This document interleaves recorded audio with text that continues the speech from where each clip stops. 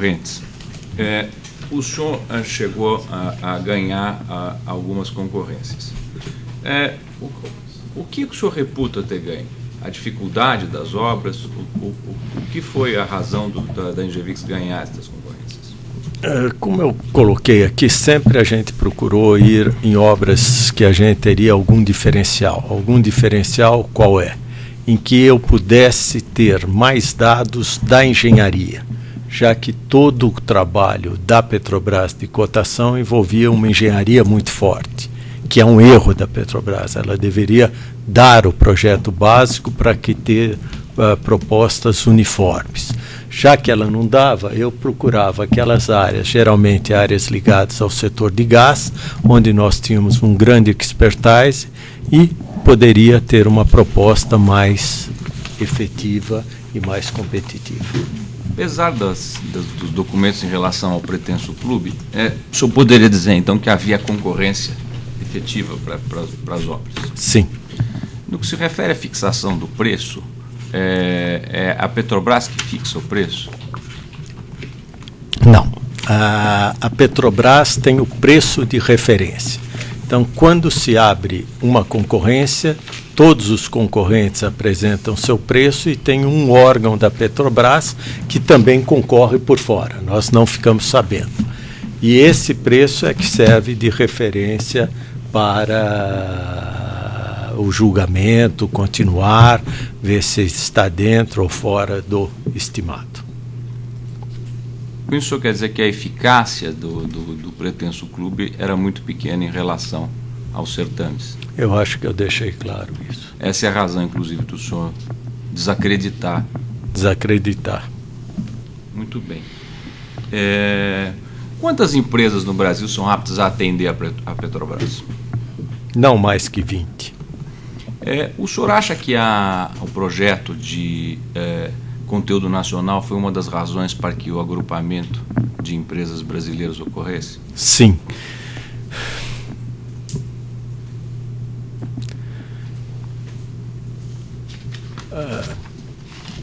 Posso Sim.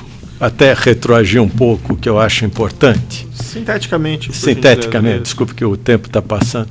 Mas é, uma pergunta que eu esperava que o Ministério Público ou Vossa Excelência fizesse é por que, que nós não temos players de fora do país aqui? Porque os contratos da Petrobras, todo mundo que for normal não assina. Qualquer advogado aqui presente não deixa um cliente assinar. É um contrato unilateral. Então, quando a gente vê que isso acontece, por que, que se assina? Porque a gente sabe que também eles não vão aplicar ou eles vão ter falhas para a gente fazer. Então, estes tipos de contratos afugentam todas as multinacionais. Então, por que, que as multinacionais não estão aqui no mercado de 30 bilhões de dólares? Essa é uma pergunta. Por que todo mundo não vem aqui e não faz fila para tentar concorrer?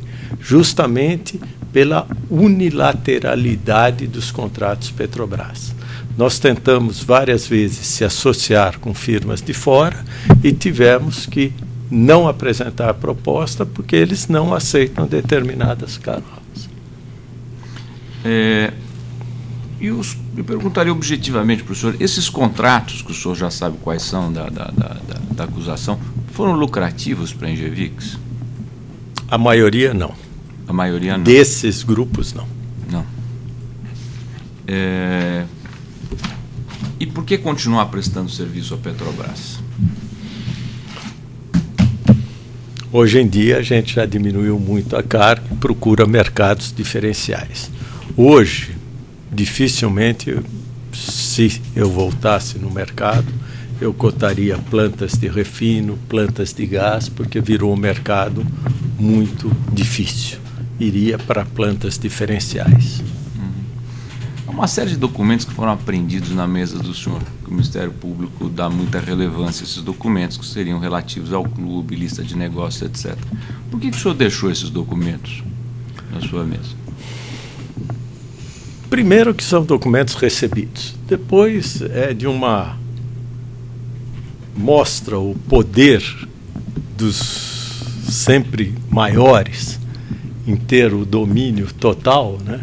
enquanto a gente senta dentro de uma conversa, né? É, eu acho que é para todo mundo poder conversar, dialogar. Quando você já vem com um prato mais ou menos próximo, né? consórcios pré-formados, então realmente fica um diálogo uh, mais difícil. O senhor, portanto, não elaborou nenhum desses documentos, né? Não. que foi me mostrado aqui, não sei do, se dentre os aprendidos tem outros que eu elaborei, mas dos que eu vi aqui, não. O senhor usou uma expressão, uma vez só aqui, o senhor não explicou. É, é, é, o que, que o senhor diz que é um pedágio? Por que, que o senhor chama de pedágio esses pagamentos? É, eu fiz a. Foi uma vez só que eu usei, tentando fazer uma similitude, que você entrou numa rodovia. Então, você entrou na rodovia, você tem que pagar aquele pedágio. E todas as empresas exerciam isso de uma forma ou de outra. Quando eu falo exerciam, é pelo que eu estou lendo hoje, e na época também todo mundo mais ou menos deixava se transparecer que teria a grande proximidade com esses diretores. Né? Todo mundo era amigo deles em termos de decisão do que ia acontecer. Mas o pedágio eu uso que é alguma coisa que você paga para usar a rodovia. Se você vai usar bem, se teu carro vai quebrar, se você vai se matar, o problema é seu. Não tem nada. O máximo que tem é um socorro para te tirar o carro e levar para o início da estrada e você se virar. A pergunta objetiva é o seguinte: o senhor chama de pedágio, é isso lhe trazia algum, uma, algum benefício? Não, não trazia nenhum benefício mas eu usava para não ter malefícios. O senhor podia explicar? Isso é muito importante. O senhor podia explicar melhor isso? Quer dizer, sempre atrás desses uh, relacionamentos existia a grande força econômica da Petrobras em aplicar multas, aplicar o contrato, que se ela quisesse aplicar aquele contrato, não existiria nenhuma empresa viva nesse país. Então, a força desse contrato, é, sabedor disso, então, tendo uma garantia que essas aplicações poderiam ser conversadas, era uma vantagem. É, se refere aos pagamentos que foram feitos às empresas que estão listadas na acusação, o senhor conhece. É, o senhor queria ocultar esses pagamentos? Não. É, e os contratos que os senhores assinaram, objeto de discussão, é, foram elaborados pelo senhor, pela sua empresa? Uh, temos duas, duas fontes, né? os do Roberto Youssef, como ele indicava empresas, vinha algumas propostas dessas empresas dentro dos objetos sociais dela. Com o Milton Pascovitch a gente elaborava. O, o, senhor Alberto, os, os contratos vinham prontos? Vinham, a maioria já vinha com indicação do objeto, do que ia ser feito. Ele alguma vez justificou porque não escrevia que era de puro lobby? Não. Não. Também nunca perguntei. Ok. Ah, o senhor também fez uma observação interessante na, na, na audiência. É, a Petrobras é uma companhia privada ou companhia pública? Uh, dentro do nosso a avaliação dentro de todas as nossas análises comerciais é uma companhia privada. E em relação às pessoas que trabalhavam na, na Petrobras, o senhor sabia que essas pessoas eram funcionários públicos? Seriam funcionários públicos? Não. Muito bem. Só mais algumas perguntas. É... Mais algumas perguntas. Tamanho é. da cara de é, No que se refere a esses documentos que foram juntados, é, o senhor soube da juntada desses documentos? É, quando foram trazidos ao juízo? Os contratos que foram juntados é, na fase de inquérito policial. O senhor soube da juntada desses documentos? Ah, da que nós enviamos? É. É, não, não soube, soube, foi pedido informações, ó, podemos enviar esses documentos? Pode. Ok. De qualquer maneira, que é muito relevante, o senhor tinha intenção de enganar o juiz, o Ministério Público, a Polícia Judiciária com a apresentação desses documentos? Eu acho que eu já falei aqui que não. É, o senhor podia falar um pouquinho do lado pessoal, sua família. É, me explique como é a sua família, quantos filhos, como é é a sua estrutura familiar. Bom, eu tenho, como já foi falado aqui, né, dois casamentos. Uh, no primeiro eu tenho três filhos, duas meninas e um menino, sendo que o menino desculpa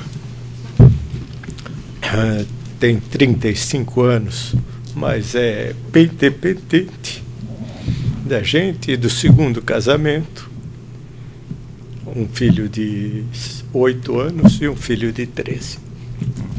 O senhor é casado há quanto tempo?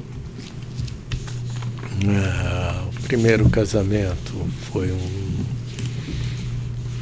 30, uh, 25 anos e o segundo 14 anos. Muito bem, eu estou satisfeito. Certo, algumas perguntas adicionais, só esclarecimentos do juízo que surgiram. É, eu confundo sempre o Cacimba lá com o Cabiunas. O primeiro contrato foi o Cacimba. Sim, senhor. Cacimba, né? É, isso foi em 2003, 2004, isso? Por, por volta disso. Pelo que o senhor disse, o, o senhor Milton procurou o senhor depois que o senhor tinha, que a empresa tinha ganho a licitação. Exato. Quem procurou quem? O senhor procurou ele ou ele procurou o senhor? Ele me procurou. E eu não entendi bem o que, que ele falou, que o senhor tinha que pagar um valor? Ou que o senhor deveria pagar um valor? O que, que foi a. Porque o senhor já tinha ganho a licitação. Já tinha ganho. Qual foi o conteúdo da conversa que o levou à contratação? da conversa que ele me trouxe foi: eu me proponho acompanhar esse contrato junto à diretoria de serviços. Hum. Então, te ajudar em qualquer problema que o senhor venha a ter, te ajudar em qualquer reunião que o senhor precise, que tenha dificuldade por acaso de marcar, de se o senhor tiver algum aditivo, te ajudar a levar esse aditivo. Então seria um trabalho típico de lobby em que ele veio me oferecer. Mas o senhor mencionou anteriormente também que ele teria dito, e aí o senhor me corrija se for o caso, que teria que pagar para ficar bem com a Petrobras? Seria recomendável que eu tivesse esse tipo de assessoria para estar bem com o cliente. Que teria que pagar a ele para ficar bem com o cliente? É isso que ele falou? Sim. Porque, assim, voltando àquela questão, não fica claro para mim, senhor Gerson, o senhor estava pagando lobby ou o senhor estava pagando dinheiro para pagamento de propina? Eu estava pagando lobby. Por que, que o senhor respondeu então na pergunta que foi feita aqui pelo advogado que os partidos políticos teriam utilizado a Petrobras se o senhor estava pagando um lobby? Porque estes lobistas conversavam com os partidos e está claro em todas as uh, relacionamentos com o cliente que existia uma forte presença política junto à Petrobras. Tá. O senhor Milton disse ao senhor que o senhor precisava pagar o lobby dele também para ficar bem com os partidos políticos? Com o partido político. Com o partido político. Ele falou isso para o senhor? Sim. E em nenhum momento ele sugeriu que esses valores seriam destinados então a agentes públicos ou agentes políticos ou ao pessoal da Petrobras? Não. E o senhor Alberto Youssef também não? Também não. Em nenhum momento ele mencionou que esses valores não. seriam só com a origem do senhor Alberto Youssef foi a apresentação de um deputado. Hum. O senhor concluiu que o dinheiro era para os políticos? Ficou mais fácil de induzir que poderia ter essa influência. E do senhor Milton não ficou claro também essa situação? Não, porque nunca tive com nenhum representante o senhor sabia o que o dinheiro ia para o pessoal da Petrobras ou não sabia? Não. Não sabia? Não sabia. Esse tipo de intermediação lobista senhor, esse da Cacimba foi lá porque que, que ano que foi mais ou menos? 2002, 2003. E esse tipo de intermediação com esses lobistas, a Ingevix fazia antes também dessa, desses anos? Como eu já falei, sempre é, no nosso área é comum ter pessoas que se relacionam, seja na área de siderurgia, seja na área de celulose e papel. É, mas com empresas públicas ou com órgãos públicos? Nós trabalhamos muito pouco com órgãos públicos. Né? Na engenharia não era necessário, em obras passou a ser necessário. E fora a Petrobras, tinha a intermediação desses lobistas com outras empresas públicas ou órgãos públicos depois de 2003, 2004? Não, no meu caso não. No caso da Engevix? Não. O senhor mencionou essa obra desses cascos aqui, né, que foi mencionado. Replicantes. Isso está relacionado com o estaleiro Rio Grande? Sim. Esse é um contrato com a Petrobras ou com a Sete Brasil? É... Desculpe minha ignorância na pergunta. Não, tem os dois. Então não é ignorância. Tem, tem um contrato uh, com a Petrobras Holanda, que é uma empresa PNBV montada com esses três sócios, mais a Petrobras, que contratou os oito replicantes. E com a Sete Brasil teve três navios sondas. Então, essa- são dois contratos diferentes. Tá. E esse, mesmo para esses contratos foi também contratado o serviço do senhor Milton Pascovitch? Sim, Tanto da Petrobras como da Sete Brasil? sim. E ele fazia, faria lobby com, com as duas empresas ou com uma só? Com quem que seria o, vamos dizer, a pessoa com quem ele trataria isso? Provavelmente com o mesmo grupo que apoiava os trabalhos dele dentro da Petrobras, né? a mesma área. Que essas pessoas estão envolvidas nesse programa também. Mas o senhor não sabe quem seriam. Não. E esse. Tá. É, voltando lá à questão do. O senhor mencionou o deputado José Janene. O senhor teve algum outro contato com algum agente político em circunstâncias similares? Envolvendo esses contratos da Petrobras ou essa intermediação dos lobistas? Não. O senhor mencionou lá do das conversas das empreiteiras, né? Que haviam a definição dessas preferências. É... Mostrei aqueles documentos. Ah, nessas definições de preferências, teve. ah, o senhor se recorda de casos que a, a Ingevix ah, tem, tem abrido, abrido mão de concorrer por definição dessas preferências?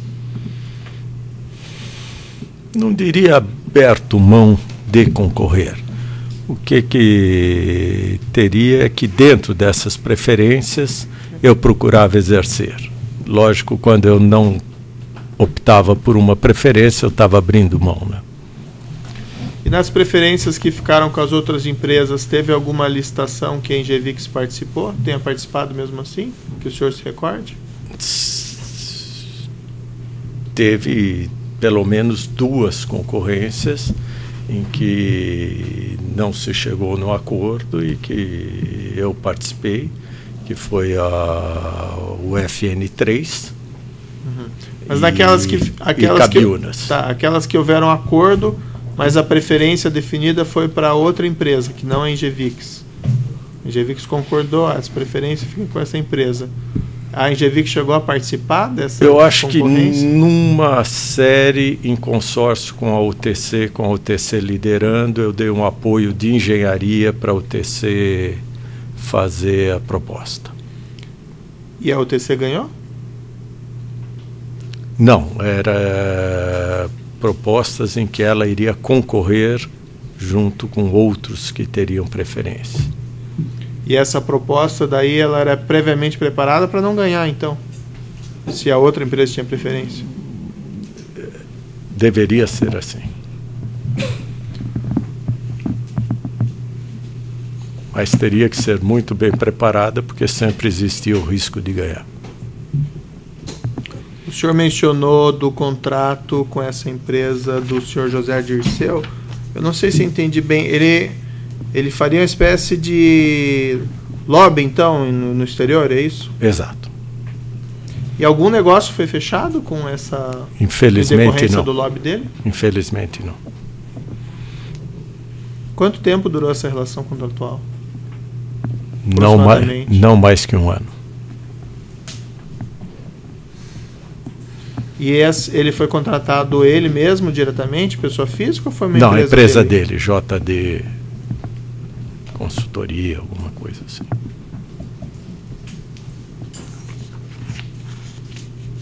O senhor lembra quanto foi? O senhor mencionou que foi um contrato ou dois contratos, isso? Não lembro. Posso verificar. Como que foi calculada a remuneração desse, dele nesses contratos? Não, esse ele pediu um primeiro um valor, olha, vou chutar um número, 700 mil reais, uh, para fazer a apresentação, viajar com você e seguir esses mercados. Eu aceitei Peru, Cuba, que a gente tinha uma no Peru já tinha uma empresa atuante bastante forte. Uhum. Ele ofereceu o México também, mas o México nós tínhamos um outro sócio lá e temos uma empresa operante no México, então eu nem nem aceitei nada referente mas ao quanto México. foi o contrato, o senhor não se recorda? Hein? Quanto foi o contrato daí que foi firmado com ele? É, coisa nessa, entre 500 e 1 milhão de reais, não mais que isso. Isso foi pago num ano só? Sim. Mas não lembro dos valores. Mas para esse tipo de serviço. Mesmo e depois, assim, se tivesse êxito, teria uma comissão. Mas mesmo assim não teve êxito em nada? Não. Eu não sei se entendi bem, o senhor chegou a viajar com ele? Sim. Para o Peru, que o senhor mencionou? Sim. Uma vez, duas vezes? Uma vez. Outra viagem ou só essa? Só essa.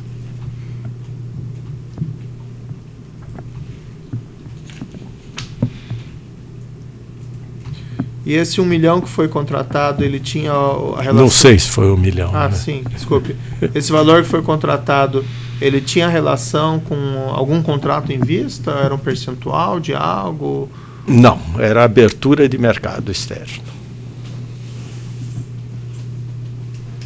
Tem um processo aqui, eu vou pedir escusas à defesa, mas tem um processo em que existe uma apuração de relacionamentos dessas empreiteiras com a empresa do senhor José Dirceu, mas aqui realmente é um processo que não foi ainda estava ainda está sigiloso, não foi aberto vista da defesa e tem uns documentos uh, que até trouxe aqui desse processo. Mas assim, eu, eu não faria indagações se não como eu não abri antes para defesa, ou. Excelência, não há problema algum na medida que a disposição do próprio acusado é estar aqui para esclarecer todos os fatos a Vossa Excelência Ministério Público. Não há problema algum. Depois, eventualmente, nós gostaríamos de ter acesso, mas nesse Sim, momento, não, por vou, favor. Eu vou até. É que eu não, não, não liberei antes, é que eu não, não saberia se chegaria a ser necessário. Não, por favor. É, mas eu faço perguntas e, e, de fato, eu vou levantar o sigilo desse processo em seguida. Acho que não tem como não fazê-lo, né? Uh, tem um contrato, então, nesse processo, que é o 508-56-2356, que eu vou lhe mostrar aqui.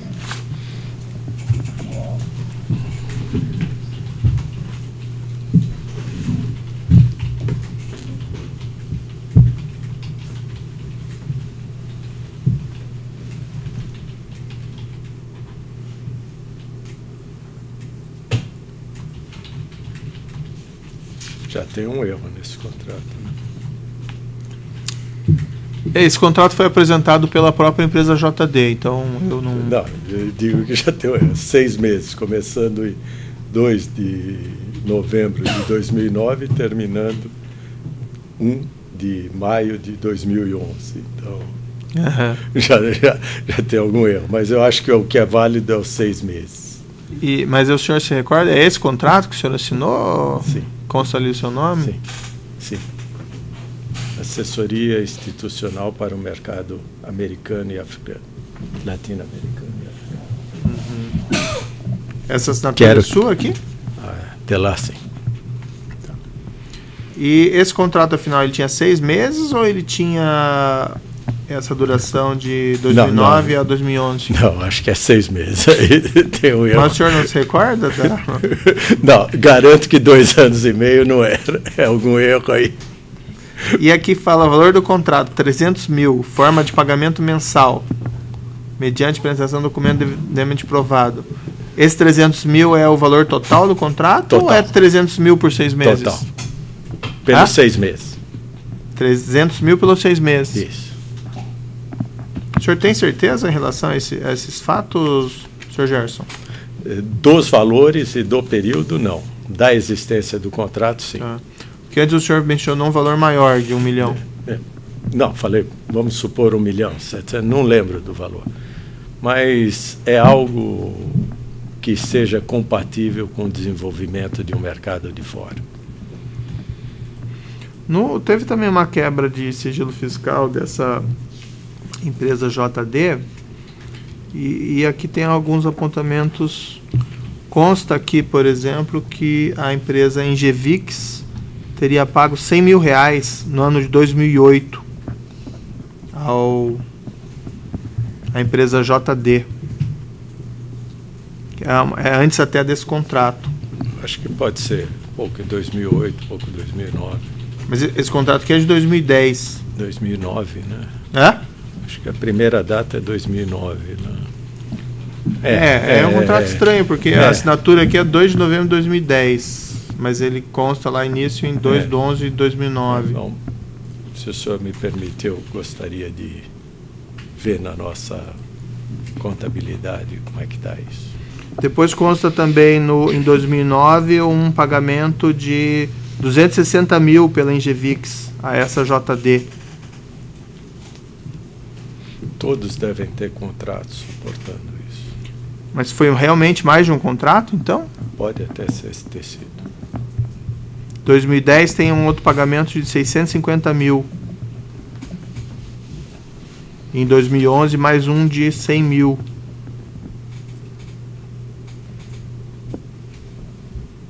Faz sentido.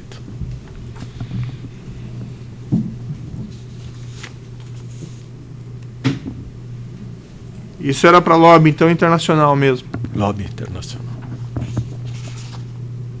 Não tinha, nunca falei com ele a respeito de Petrobras ou outras coisas.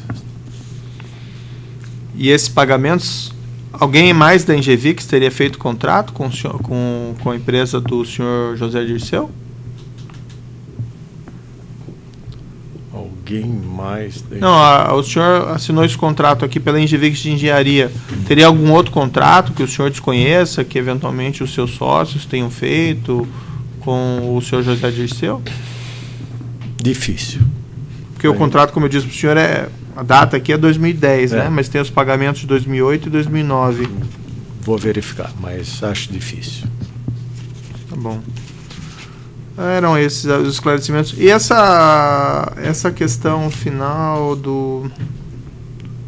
Ou melhor, o senhor gostaria de dizer mais alguma coisa em sua defesa nesse processo? Se me fosse permitido, Sim. gostaria de esclarecer um fato aí que me conturbou muito a vida pessoal, né? Foi o primeiro susto que eu recebi e foi um bilhete encontrado com Paulo Roberto, que foi a ser capa do Veja, né, em que Paulo Roberto tinha lá uma série de anotações a candidatos, né, estava lá entre os nomes o do Otávio, o meu, vários outros, de contribuição possível para a eleição agora. Então, gostaria de aproveitar e esclarecer esse sim, fato. Sim, sim, pode esclarecer. Uh, eu fui procurado no escritório de São Paulo pelo Genu, em nome do Paulo Roberto, dizendo que ele estava pleiteando ser uh, secretário de Minas e Energia do uh, candidato Lindenberg ao governo do Rio. Para isso, ele estava pedindo colaborações. Falei, olha, ah, eu só, não... Só um minutinho, desculpa, eu tenho que interromper aqui por causa do tamanho do áudio aqui, é mesmo minutinho.